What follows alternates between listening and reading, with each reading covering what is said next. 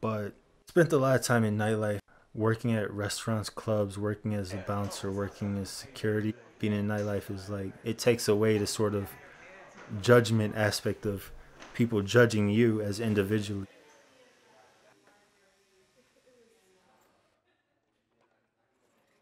But also it's, you know, from being locked up, I did want to see people and meet people. So this barbershop in particular happened to be a, a barbershop that's open after hours.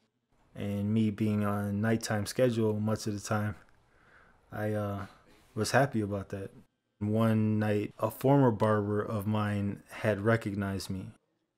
Not too long after, the barber that was supposed to cut my hair, he comes out and says, Yeah, is all that stuff about you true? Are you from Chicago? And this and that. Are you HIV positive?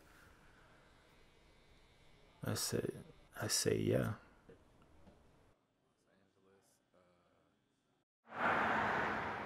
my father was born in Chicago and he was from Chicago and his mother was in Chicago. So that's who I grew up with. Mostly him and his mother. You know, ironically, a lot of people kind of pushed me to play basketball because, you know, given the fact that I was about six foot one when I was 11 or 12 years old, people saw that I, would probably be a good specimen for basketball. Me personally, I liked to watch basketball. I liked it, but I always wanted to do other things. I ended up at some point during my junior year getting expelled from St. Patrick's High School for missing class. From there, I kind of lost my my ability to go to a, a, top school. I was invited to uh, Loyola Park in a park league. Randy Brown's cousin at the time, who was a basketball agent, an NBA basketball scout, that was his alma mater. Also ran the park where I used to play at. So it, it was me staying close to home from a distance. I will say that South Dakota is, in my opinion, it was one of the least diverse um, states that I've ever been in. You're in a town where there's only one of everything pretty much. So it, in many ways, a lot of my teammates were outsiders.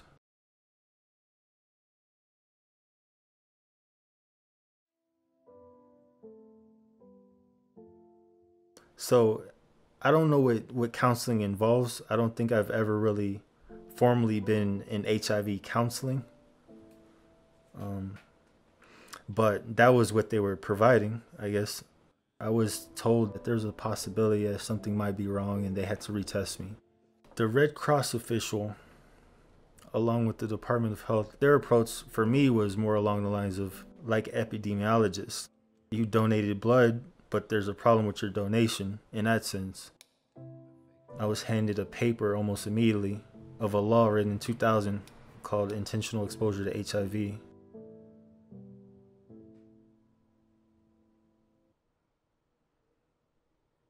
That I looked at the penalty on in this law was like what my prognosis was. If they were gonna be offering a year for it, then I felt like obviously I would be living pretty long, but it's still, you know, a problematic situation. So I felt that the time correlates very closely with my prognosis. I can't imagine how someone can process information about a new HIV diagnosis and HIV criminalization at the same time. Um, I just can't imagine how one can physically do that. And so when you know, a young 19 year old man like Nikko is told that he might be HIV positive, now the thing that he holds on to for dear life is the word might. That is so far outside of kind of any best practice that probably has ever been around related to public health. It's kind of astonishing. The idea that, you know, Nikko at the end of it felt like, you know, the option that I have after my HIV diagnosis was prison, I think that that was meant to feel that way.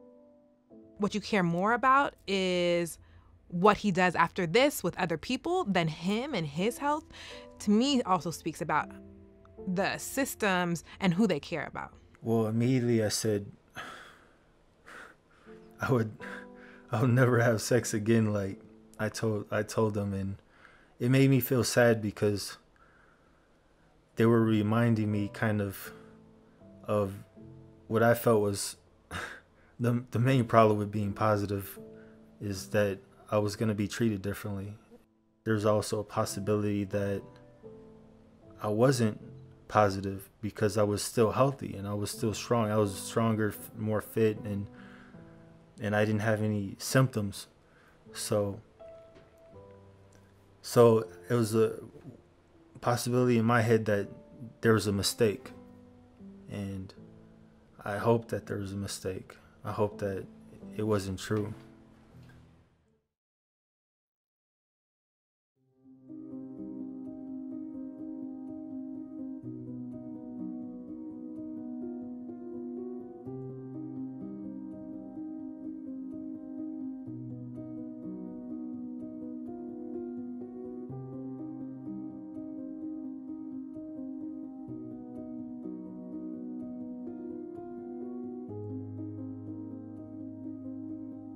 This small private school of 400 students is in shock after 18 year old basketball player Nikko Briteramos was charged with five counts of intentional exposure to HIV infection. The authorities say they believe at least 50 other people may have been exposed to HIV, the AIDS virus, through Mr. Briteramos and two unidentified young women he had sex with. In all, Four people here, including Mr. Briteramos, have tested positive for the virus. An associate pastor is behind bars tonight accused of knowingly transmitting HIV. A man described by prosecutors as a serial transmitter of HIV is free on bond tonight. A high school student accused of trying to give a man HIV. It is a it is a difficult situation we create when we make a person's health condition then the uh, an element of a crime. Daniel Cleaves is accused of knowingly transmitting HIV to a When there are, is an HIV criminalization arrest, that person is often used. Leapart works at Fellowship United Church Their of face Christ is in flashed Chesapeake. across the news. People in the community are told if you've had uh, intimate contact with this person, you need to contact us. So the police use it as an investigative tool, and unfortunately, I think um, sometimes public health officials see this as an opportunity. 18 year old Nikko Brito Ramos was the first person in South Dakota charged with intentionally exposing someone to the virus that causes AIDS. More than 200 people in Huron were tested for HIV. In the first couple of weeks when I was arrested, the governor at the time, Bill Janklow, started making comments that what I did was no different than taking a gun and pulling the trigger. There was the assumption, it seemed, that I was the cause of or the per, uh, you know patient zero of South Dakota or patient zero of Huron. They feel like they're successful because they've gotten a whole bunch of people to test, most of whom have had no contact with this individual. They create this fear of contagion, and fear is a very strong motivator.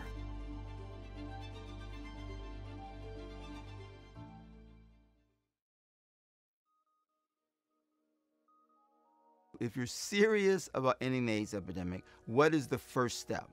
The first step is to increase the incentives for people to come in and find out they're HIV positive. So what does criminalization does? It actually dramatically decreases your incentive. It incentivizes you not knowing because you can't be in prison if you don't know. When you have a criminalization law as it relates to HIV, I think it further stigmatizes everything related to HIV, right? So if I know that there's a chance my freedom may be up for stakes if I get tested, why would I do that? And I think particularly in communities of color who have such bad experiences that have been mistreated so much by the legal system that trying to engage anywhere in testing and treatment and care would become secondary or even further down the list of what's important when it comes to thinking about HIV.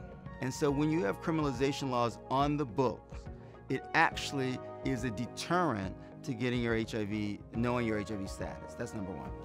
Number two, with criminalization, it creates an alienating relationship, a hostile relationship between you know, service providers and their clients, and particularly in black and brown communities where medical mistrust is already pervasive. Now, you really don't need to exacerbate that problem. Number three, you know, criminalization reduces utilization and access. You know, so um, what happens is that people are less likely to get tested.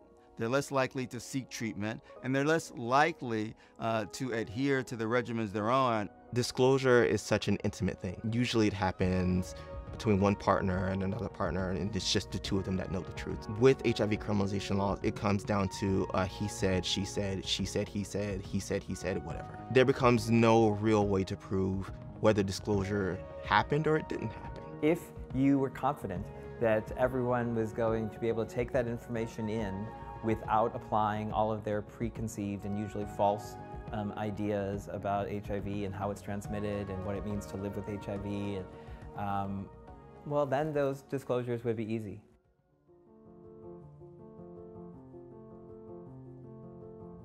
Briteramos was sentenced to four months in jail after the woman who he intentionally exposed to the disease pleaded for leniency.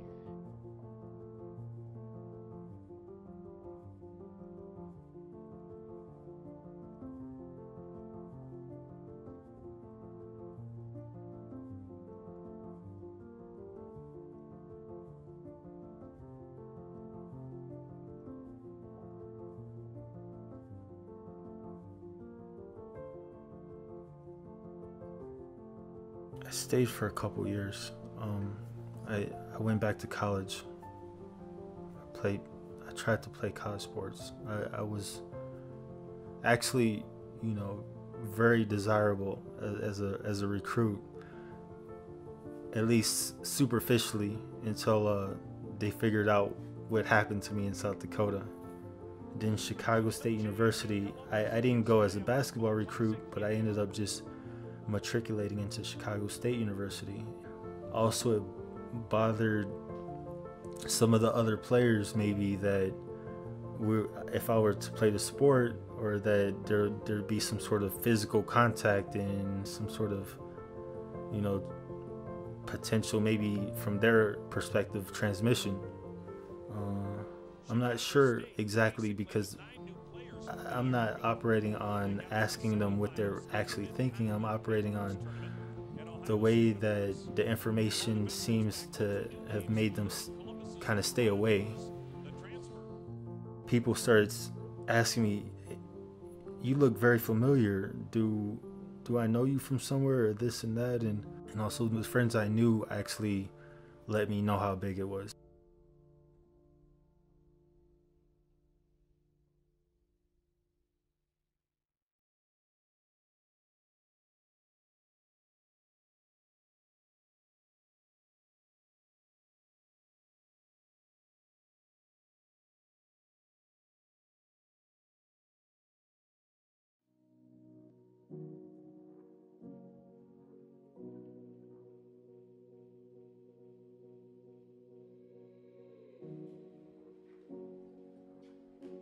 Barbershop is like the modern day men's club. If you're not accepted at the barbershop, it's like kind of like not being accepted at a party, not being accepted in a club. One night, this guy was from Chicago and happened to have come to LA and happened to have gotten a barber position at a barbershop where I was cutting my hair at. He was happy to see me, it seemed, or so interested in the issue that he, he's talking about it to the other barbers inside the barber shop, the barber that was supposed to cut my hair, he comes out and says, Yeah, is all that stuff about you true? Are you from Chicago and this and that? Are you HIV positive? I said, I say, yeah.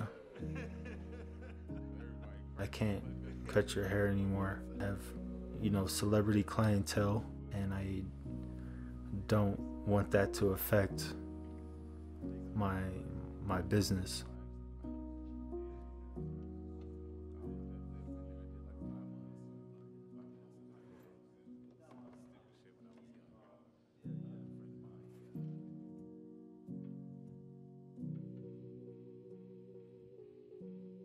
I never really wanted to be in the limelight or in front of cameras or to be publicly HIV positive. I didn't want to be a poster boy for HIV. I didn't I didn't want to be anything of that sort. I just know that it's almost necessary to get things done, that persons expose themselves